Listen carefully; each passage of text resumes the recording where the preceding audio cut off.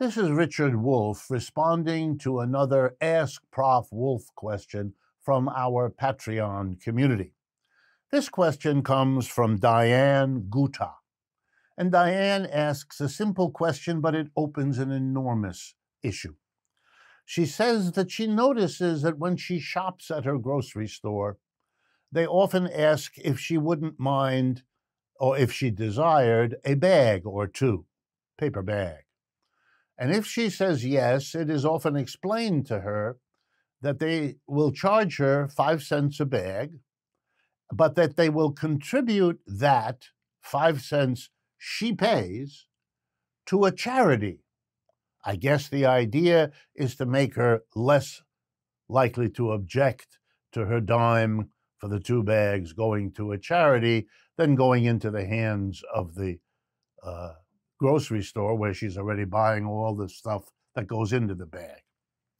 So let me answer Diane's question quickly and bluntly because she wants to know does then the company not only charge me the 10 cents, but when it contributes that to the charity, do they use that to get a tax deduction since it's a contribution to a charity?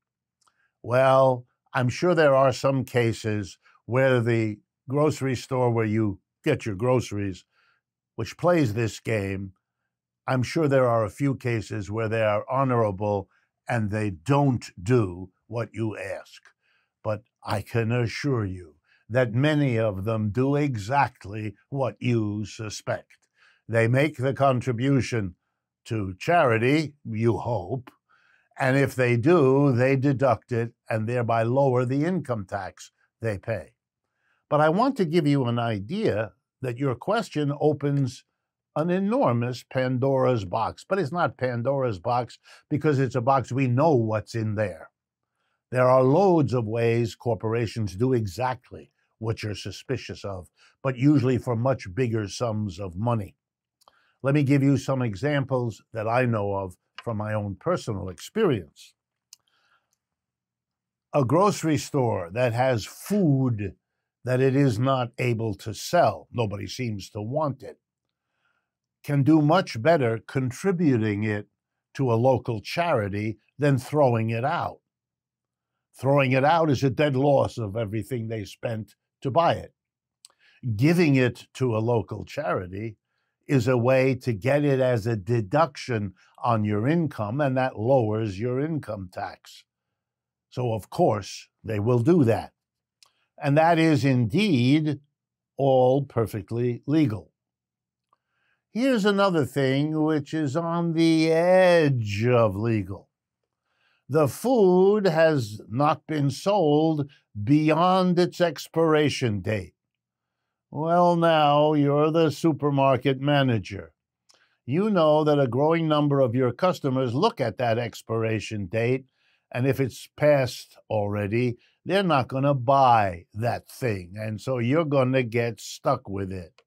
So rather than wait and be stuck, you contribute the whole thing to a local food bank or a soup kitchen.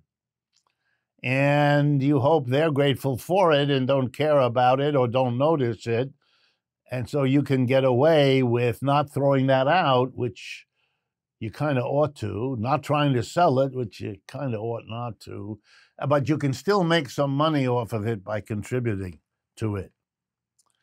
Okay, now we get a little more across the border into illegal. The food has gone bad, and you know what you should do with it. You would throw it away. But no, maybe there's a charity that you could unload it onto. And now comes what I experienced as a young person working in one of these outfits. A company makes something I'm going to take as an example of a ballpoint pen. It sells the ballpoint pen for $3.95 in stationery stores all over the place. Until a new young executive comes on board and says, you know, when we make 395 from a pen, we're only getting about 50, 60 cents of profit out of all of that. Suppose we contributed the pens to a charity that distributes oh, educational materials in third world countries, maybe a church or who knows, something, and we'll invoice the, the uh, church or whatever it is, and we'll say, we're giving you 2 million pens at, here we go, 895 each. Now, who signs for that? Well, the charity, the church does. They send you a, a letter saying, thank you for contributing a million pens or whatever it was at 895 per pen. Now they may know, who knows, but they may know that this is a pen that's actually only worth 395. But they have no incentive to bring that to your attention.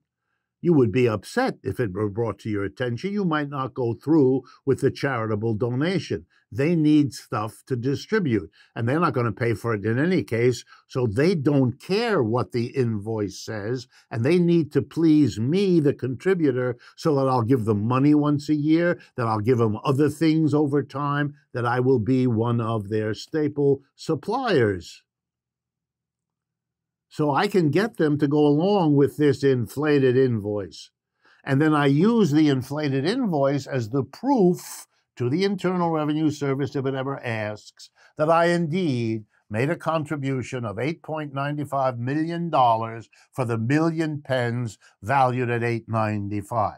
Is that a way to avoid paying taxes? You betcha.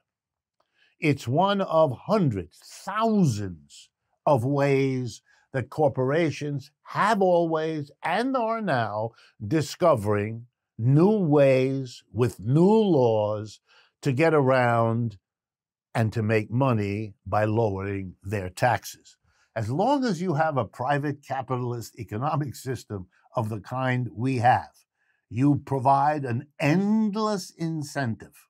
And if you for this kind of behavior, on the edge of legal, illegal, but tax avoidance so that the rest of us have to make up in higher taxes for what the corporations can get away with in the manner I've described. You're going to have to deal with the basic system to solve this problem.